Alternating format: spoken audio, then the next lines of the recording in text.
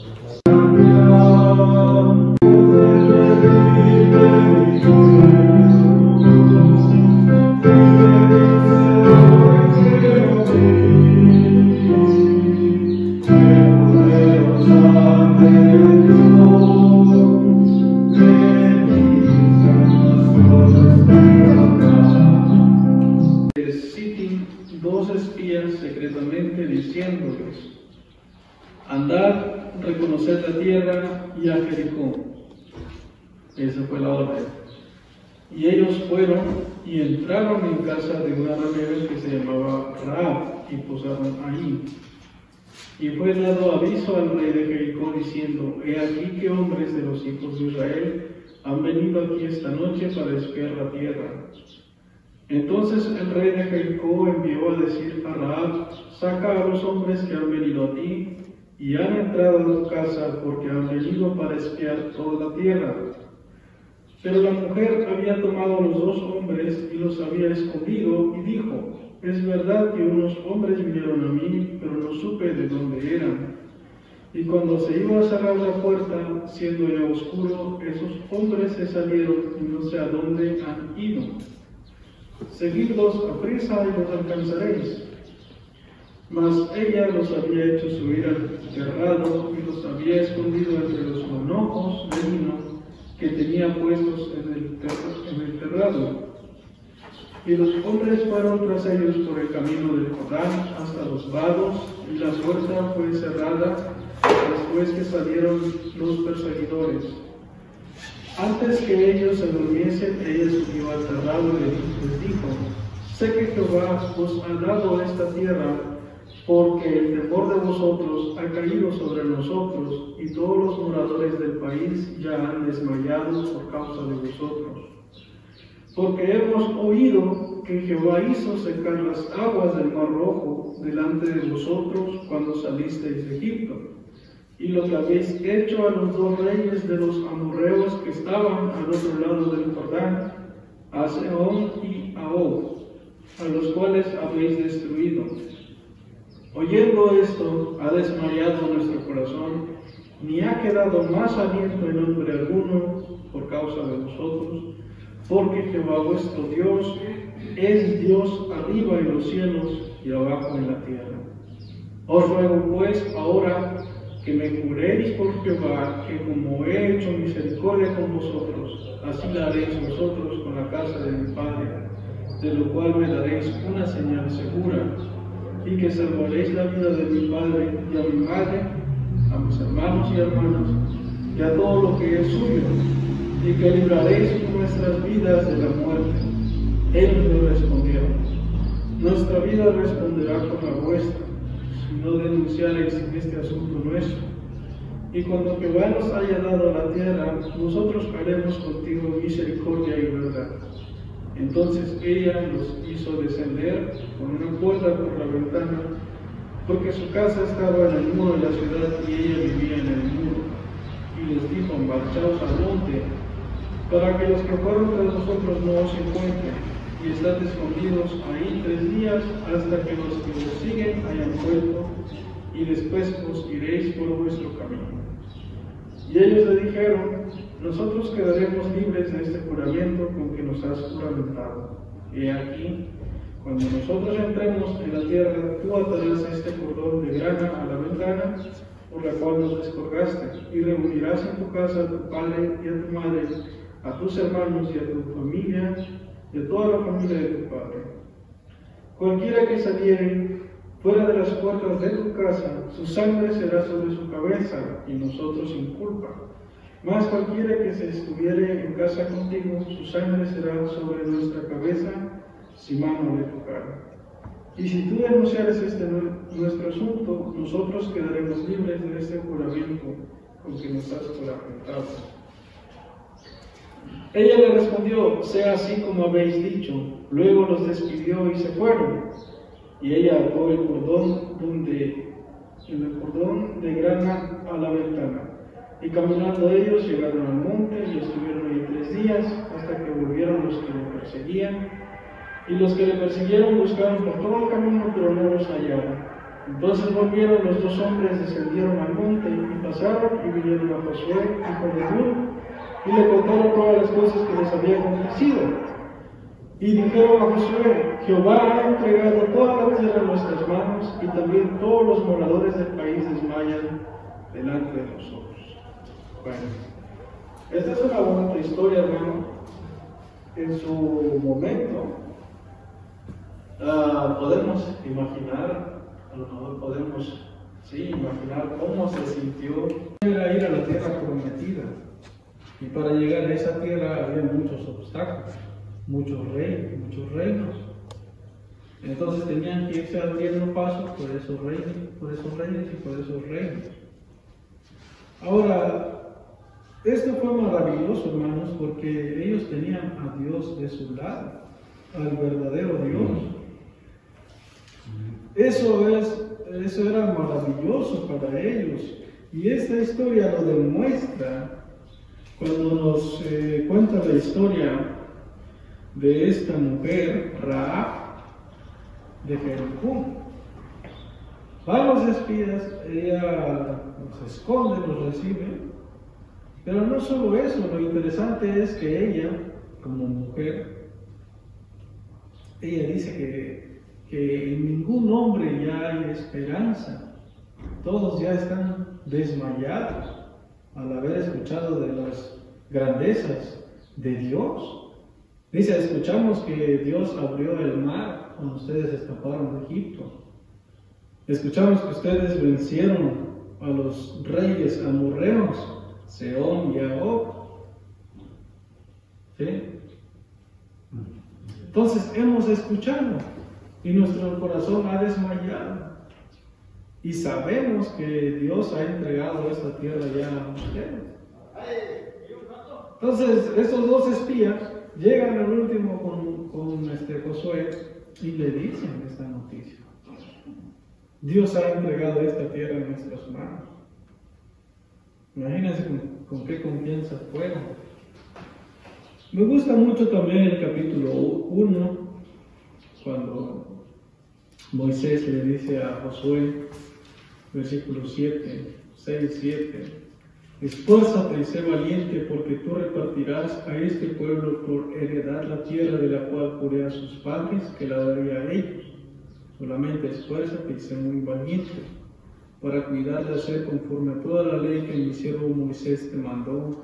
No te apartes de ella ni a diestra ni a siniestra, para que seas prosperado en todas las cosas que emprendas.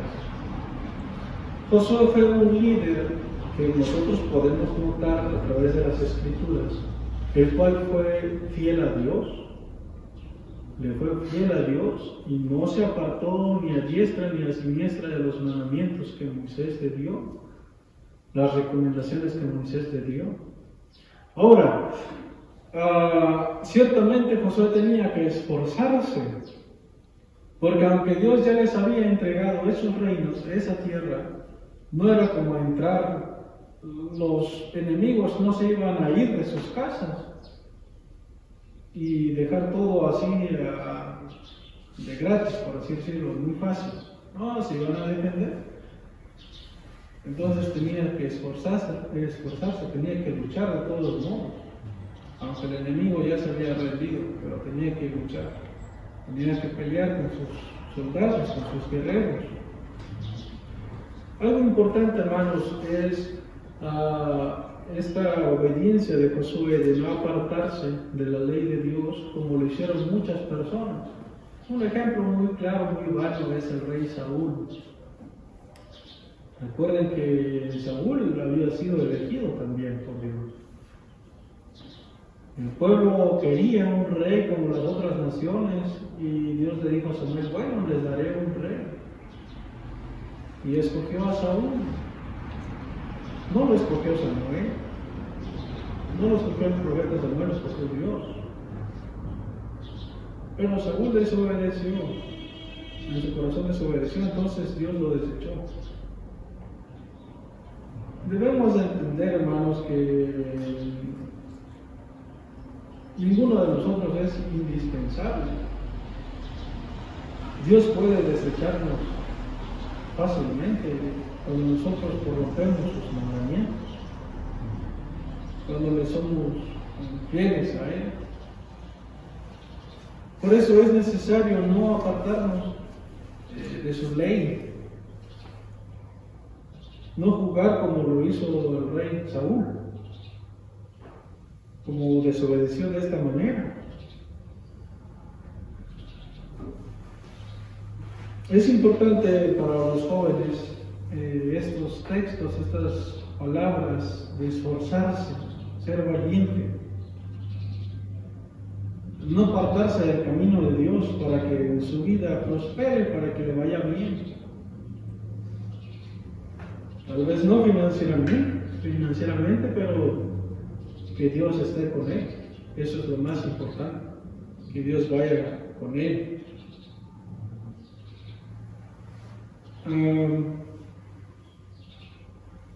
Aparte de la gran confianza que estos hombres ya tenían al escuchar estas palabras de la mujer, que Dios ya había entregado a ese reino, eh, prácticamente no tenían nada que hacer en frente de Dios.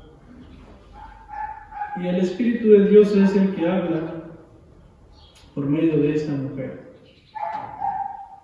que dice, versículo 11, Oyendo esto ha desmayado nuestro corazón, ni ha quedado más aliento en hombre alguno por causa de vosotros, porque Jehová vuestro Dios es Dios arriba en los cielos y abajo en la tierra. Ese reconocimiento que hace ella no es por su propio eh, corazón o su propia voluntad, sino que es Dios, el Espíritu de Dios. Y eso también nos muestra, hermanos, que desde el Antiguo Testamento Dios no se está limitando solamente a su pueblo de Israel, como creían los judíos en el Nuevo Testamento, que solamente los israelitas eran el pueblo de Dios. Y cuando llega el apóstol Pablo a decir, no, yo voy a predicar a los gentiles, entonces hay un choque, choque de doctrina. Pero podemos ver en el Antiguo Testamento que Dios escogía a personas de otras naciones, de otros reinos, para ser salvos. No solo para ser salvos, sino también para ayudar a su pueblo. Entonces podemos ver eso, que Dios ha escogido. Eso es un ejemplo muy claro. ¿Por qué Dios solamente escogió a esta mujer de todo ese reino, de todo ese pueblo? ¿Mm? Es muy claro el Antiguo Testamento. Cuando dice a Jacob amé, pero a Esaú aborrece. Cuando endurece también el corazón del faraón. Entonces podemos darnos cuenta de un Dios poderoso que tiene soberanía en todo el mundo, sobre todas las cosas y a nosotros no nos queda más que reconocer esa soberanía de Dios. No nos queda otra cosa que reconocer la grandeza de Dios. De que nosotros dependemos totalmente de Dios.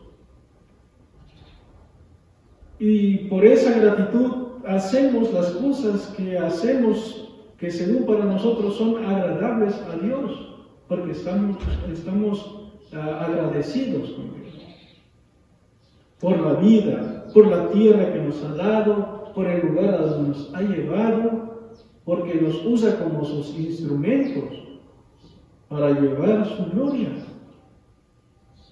a todos los demás. Ese es el objetivo del pueblo de Dios, del pueblo espiritual de Dios, ser luz, ser sal. Pero ciertamente hay tierras que todavía eh, no hemos logrado ah, gobernar en el sentido de que esparcir la palabra de Dios. Hay lugares donde aún no ha llegado la palabra de Dios. Es decir, esos lugares aún no hemos podido eh, este, expandir el Evangelio. ¿Pero por qué? ¿Por qué no ha sido eso posible?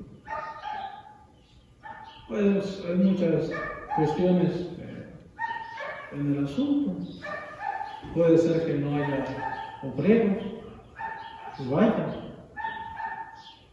Por eso no han escuchado la palabra de Dios.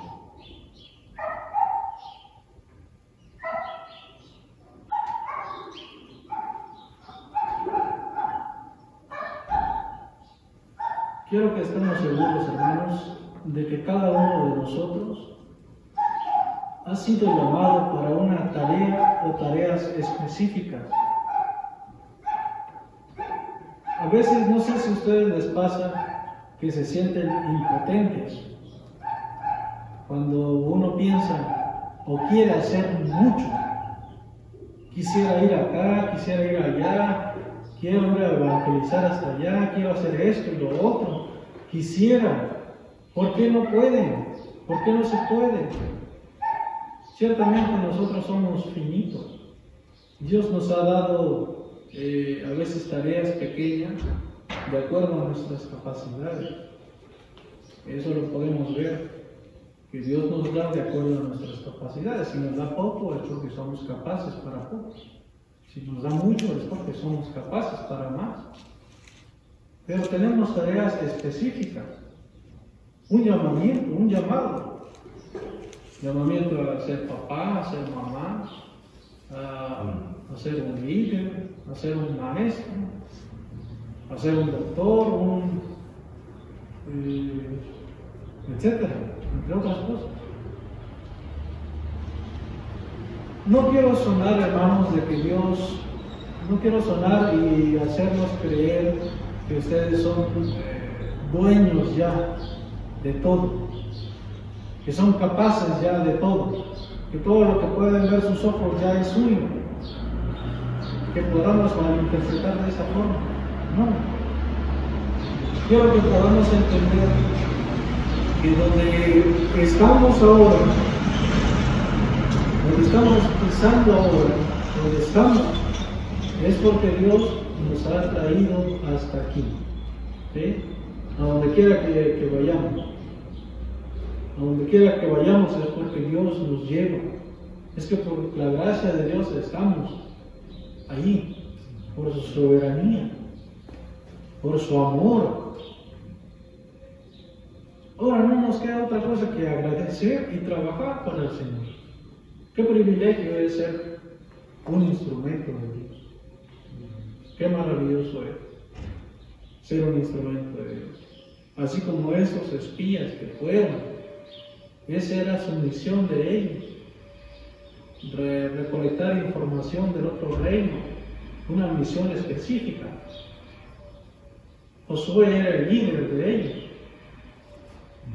Entonces nosotros tenemos llamamientos específicos, misiones específicas. Solo hay que confiar en Dios, hay que creer en Dios, que para Dios todo es posible y para nosotros a veces son cosas un poco imposibles de pensar, de creer. Pero si Dios nos ha llamado para algo, Dios lo confirma. Dios lo confirma y ya queramos o no queramos, las cosas que Dios dice que sí, esas se hacen. Y debemos de estar agradecidos, hermanos, y seguir adelante, esforzándonos como Josué, que aunque Dios ya le había, prometido esa tierra y le había dicho, ya te voy a entregar todo eso, pero él se esforzó también, creyó en esa palabra de Dios y siguió adelante con valentía, con valor. De esta forma, ah, pues David, que te vas también al seminario, y estás estudiando música, pues anímate, esfuérzate. Ah, hay muchas cosas que a veces uno sufre, ¿sí? Puedes sufrir por, por tu familia, porque los extrañas, o otras cosas. Pero Si has llegado hasta aquí es porque Dios lo ha permitido, es porque Dios te ha dado esa gracia, ese don. Entonces tú tienes que abrazar eso, tienes que aferrarte a eso. Es decir, ese es un llamamiento específico. Eh, enfócate solo en eso, en ese llamado. De esa forma tú saldrás victorioso creyendo en esa palabra de Dios, creyendo en ese llamado de Dios. De esa forma nosotros tenemos que creer en esa palabra, tenemos que tener fe. Amén. Amén. Que todo lo que hagamos, hermanos, sea para honrar el nombre de Dios. Que Dios nos bendiga y que Dios sea con nuestros planes, proyectos que tengamos. Nosotros podemos hacer muchos planes, pero la respuesta final es de Dios, como dice eh, pues el rey sabio, ¿no? el rey Salomón, que de nosotros son los planes, pero Dios dispone al final. Dios dice sí o no. Entonces, debemos entender eso. Bueno, hermanos, vamos a entonar el himno 443. A